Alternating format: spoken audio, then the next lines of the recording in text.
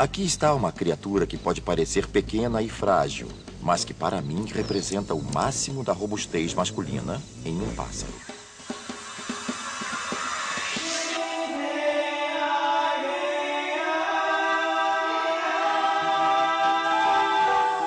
O mundo secreto dos jardins. Beija-flores. Distribuição Sinapse.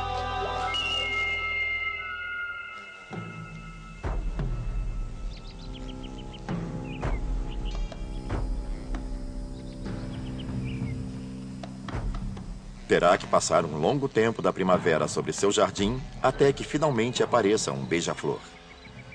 Antes disso, muitas fontes de néctar, muitas flores devem aparecer para que ele fique pronto para elas.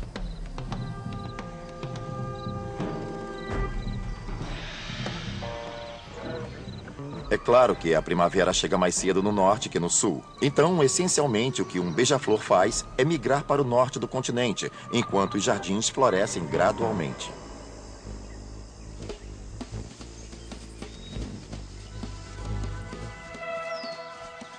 A vida de um beija-flor é uma troca. Eles têm habilidades que praticamente nenhum outro pássaro tem pairam no ar, voam para trás, se movem por lugares difíceis, mas como quase nunca ficam parados, eles têm que se alimentar continuamente para manter toda essa atividade. Por isso, um beija-flor deve se alimentar o tempo todo. São consumidores incessantes de néctar, e é essa busca que os mantém em seu jardim.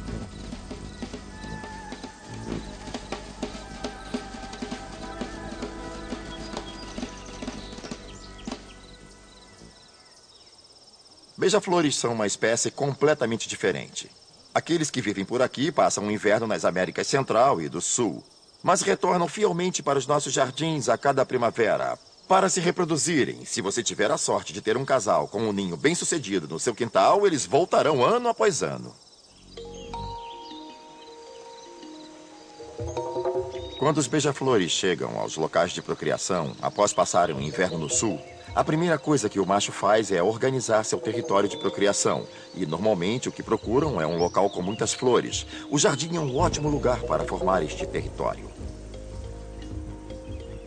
O que buscam é algo que possam mostrar às fêmeas e dizer: Olha aqui, é um ótimo lugar para se ter filhos porque tem várias fontes de néctar.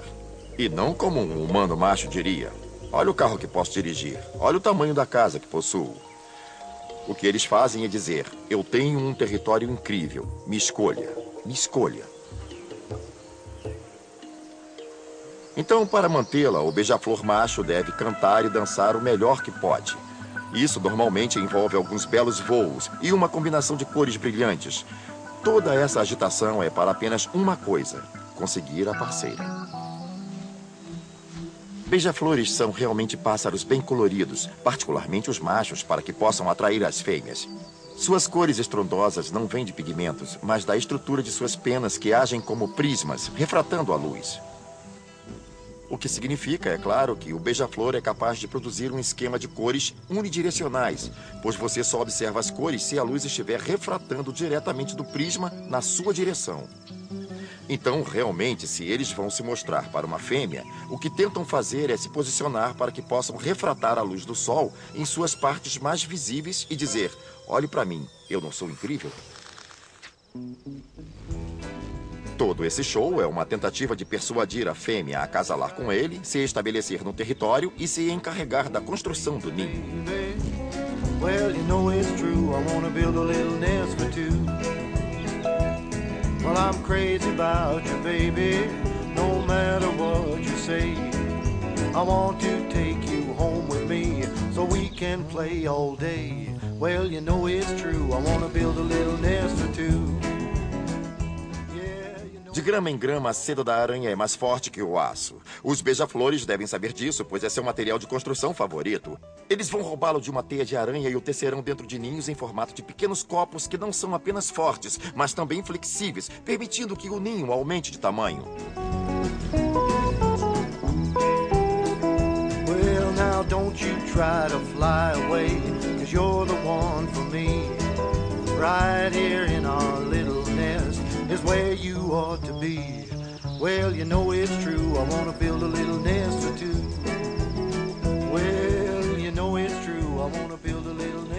As fêmeas constroem um ninho inteiro. Também fazem toda a incubação dos ovos e cuidam de toda a alimentação dos filhotes. Os machos realmente não contribuem com as obrigações domésticas. Apesar de tudo, são bons em acasalar e defender o território contra competidores pelo néctar. Mesmo sendo muito belos, provavelmente não há sordidez maior que um beija-flor macho tentando defender seu território contra outro macho. Você pode ouvir um ruído intenso e agudo quando se atracam em alta velocidade. Executando uma função realmente importante, pois isso mantém os outros beija-flores fora da disputa por todo aquele néctar, disponível apenas para ele, a sua fêmea e seus descendentes.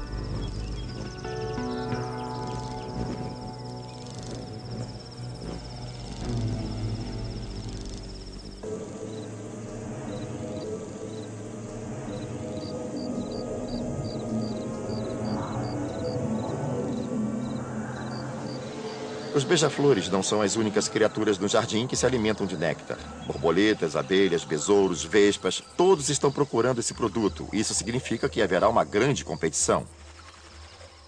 Em qualquer dia, seu jardim será visitado por hordas de diferentes criaturas. E essa é a beleza das flores. Elas não são somente belas de se olhar, mas também atraem um incrível exército de lindas criaturas.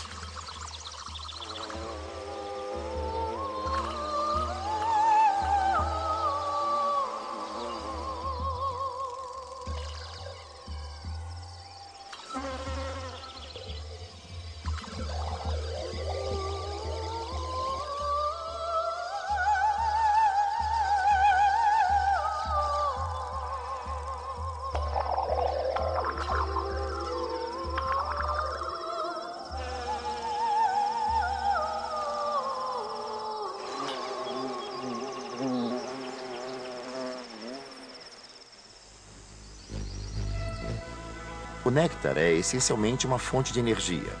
Tem uma quantidade pequena de proteína, realmente não é muito rico nesse aspecto.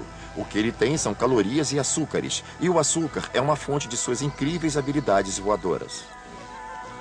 Os beija-flores são capazes de fazer coisas que outros pássaros jamais poderiam sonhar. São capazes de pairar no ar, voar para trás, e não porque são aerodinâmicos, mas sim pelo seu enorme poder de voo. A respeito de pairar no ar, isso exige um grande esforço e um monte de energia. E essa é uma das razões pelas quais eles devem se alimentar constantemente. Podem visitar até mil flores em um dia e irão consumir até metade de seu peso em néctar. Eles têm um longo bico necessário para alcançarem fundo na flor, mas eles não sugam o néctar. Ao contrário do que parece, eles têm uma língua comprida que se estende até a ponta do bico, e o que é ainda mais interessante é que a língua também é toda bifurcada e extensível, ou seja, pode se alongar e aderir a mais partículas de néctar e trazê-las bico adentro.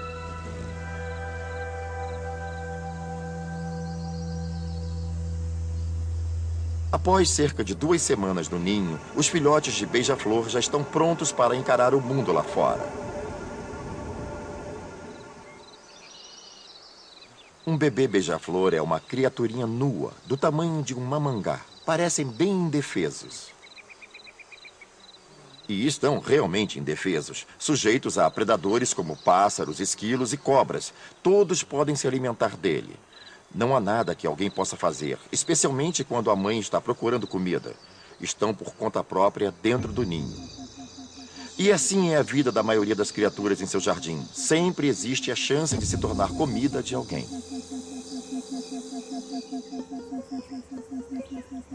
O que leva ao desenvolvimento de estratégias diferenciadas de reprodução.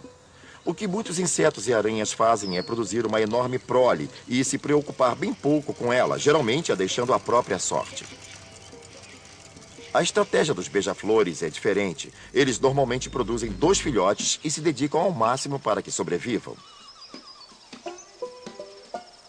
Pelo meio do verão, o beija-flor bebê está no ninho e faminto. Isso mantém a fêmea no jardim coletando néctar para trazer de volta ao ninho e regurgitar para alimentar o neném. É um processo meio nojento. Você está olhando para uma criatura de bico longo, despejando aquilo goela abaixo de outra pequena criatura de bico longo. Parece com aquele truque do engolidor de espadas do circo, mas trata-se de uma operação precisa, algo ansiosamente aguardado pelos filhotes.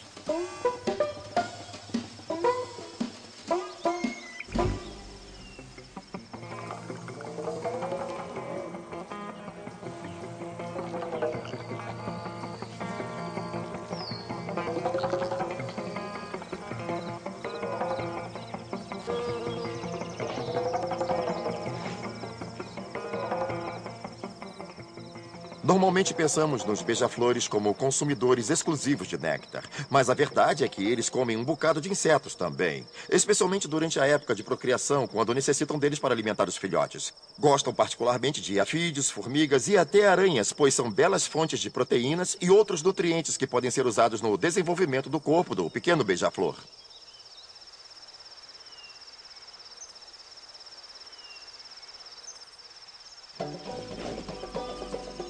A mamãe beija-flor tem um trabalho pesado para manter alimentadas aquelas bocas famintas, o que significa que estão constantemente patrulhando o jardim e agarrando praticamente qualquer inseto que possam carregar. E tudo isso ela tem que levar de volta ao ninho, deixar naqueles bicos ansiosos e voltar à caça sem parar. Os beija-flores são tão rápidos que podem agarrar coisas no ar, arrancá-las da folhagem e toda forma de abordagem que puderem. São predadores muito eficientes. Seus bicos são como pequenos sabres. Podem agarrar tudo com muita eficiência. São máquinas de caça.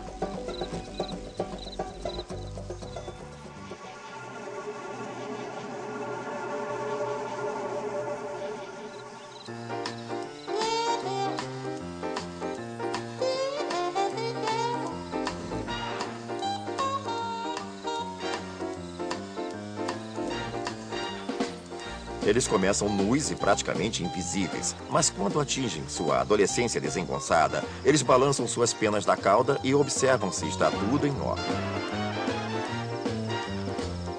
Ocorre um empurra-empurra por espaço entre os irmãos, e ao final de seis semanas, eles estão literalmente transbordando do ninho.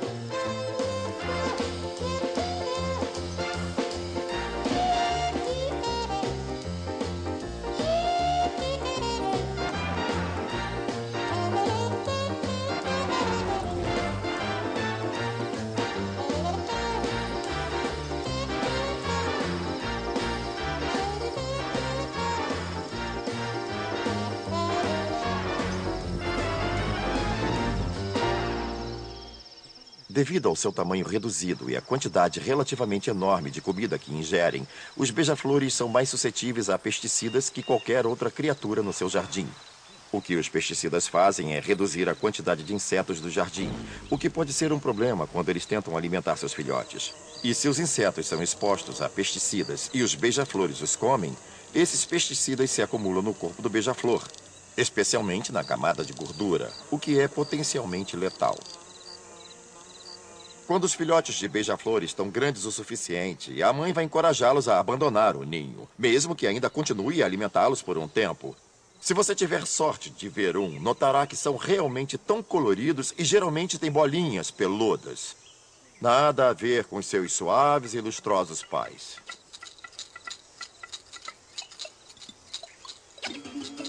O jovem beija-flor, quando sai pela primeira vez do ninho, está por conta própria. Ou seja, deve se alimentar sozinho. Ninguém mais vai lhe dar o que comer.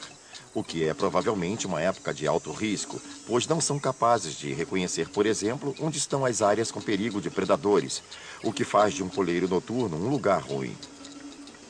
Também estão suscetíveis a cometerem erros, baterem em uma janela, esse tipo de coisa. Leva um tempo até ganharem a experiência necessária para serem bons em todas as coisas que um beija-flor deve saber para sobreviver em um mundo cheio de perigos.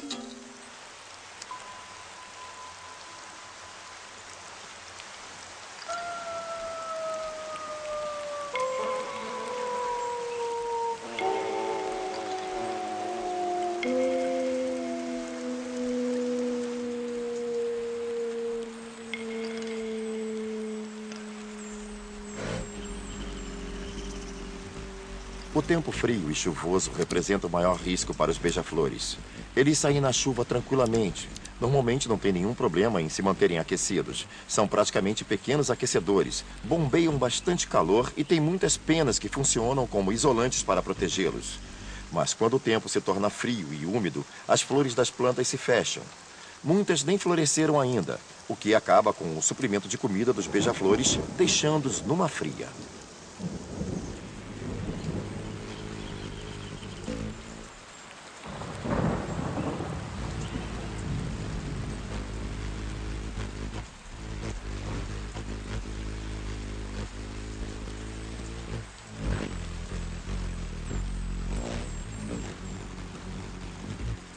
Um dia ou outro de chuva pode não ser uma grande ameaça. Mas uma semana prolongada de chuva pode matar os beija-flores.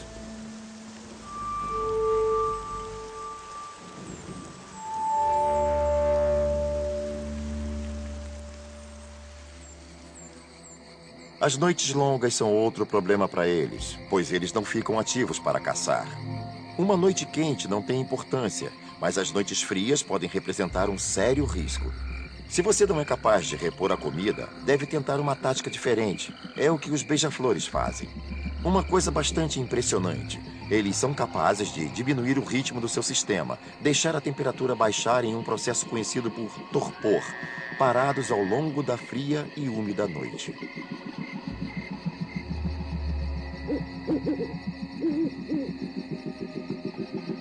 Eles ainda mantêm seu corpo aquecido. Não são como os insetos, que chegam ao nível da temperatura ambiente. Eles ainda são capazes de gerar calor para se manterem ativos, apenas não tão quentes quanto a temperatura do corpo, para que a energia armazenada possa supri-los ao longo da noite.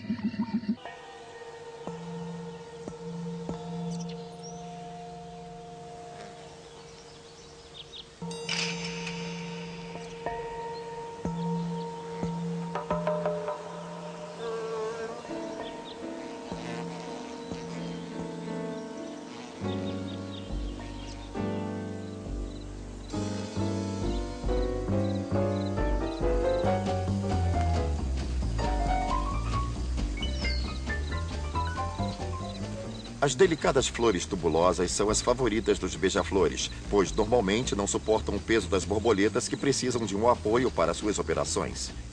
Um beija-flor, por outro lado, com sua tremenda habilidade de pairar no ar, pode se manter bem à frente da flor e alcançar o interior da corola, sem tocar nenhuma das pétalas.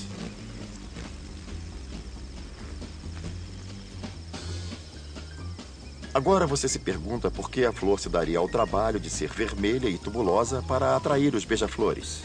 Bom, evidentemente que há uma razão para isso, já que os beija-flores estão sendo usados por ela como um meio de transporte de pólen.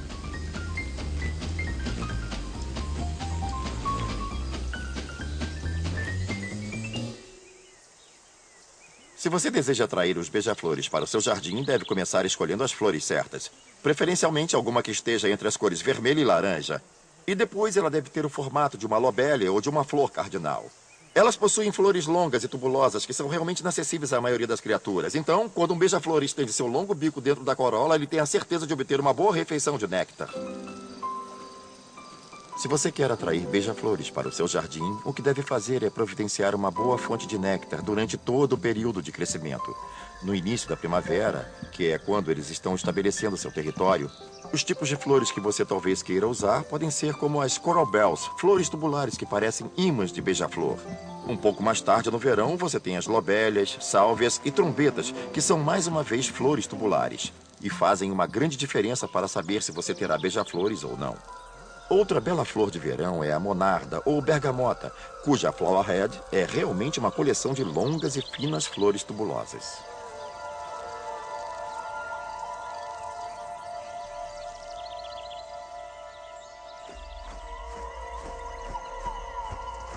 A flor favorita do beija-flor é a penstemon. No sudeste americano, onde os penstemos estão em grande diversidade, encontrará um grupo deslumbrante de beija-flores para explorá-las. Onde quer que encontre penstemos, certamente encontrará beija-flores. Outra forma de garantir que seu jardim continue a ser atraente é não deixar que haja uma época de baixa florescência, quando o néctar pode não estar tão disponível. Você pode fornecer alimento aos beija-flores. Essencialmente, o que deve fazer é colocar uma quantidade equivalente de néctar, uma solução simples de açúcar e água, em um alimentador que tenha um tubo de acesso para manter os competidores longe e que seja preferencialmente de plástico vermelho ou qualquer outro material vermelho. É o que certamente vai atrair os beija-flores.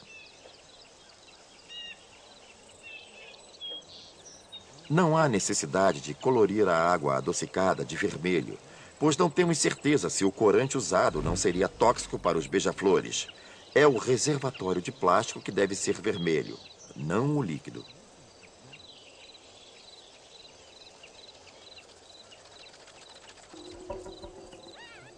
Os beija-flores não são as únicas criaturas que serão atraídas para os alimentadores. Existirão outros comedores de néctar interessados.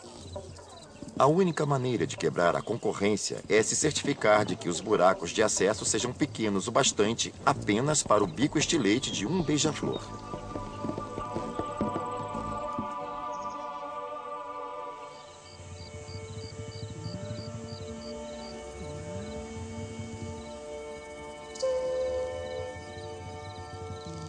Os beija-flores podem viver em qualquer lugar uns oito ou dez anos. Você acaba aprendendo alguma coisa sobre um pássaro que vive cerca de 8 ou 10 anos em seu jardim. Depois de um tempo, eles podem tomar seu rumo. Preferem em certos lugares. Se alimentam de certas flores e determinados alimentadores mais que outros. Você deve se tornar bastante íntimo dos beija-flores. E eles ficarão por um bom tempo. Ao final da fase de crescimento, no inverno, os beija-flores vão para o sul e o legal é que, se eles gostaram do seu jardim, voltarão ano após ano.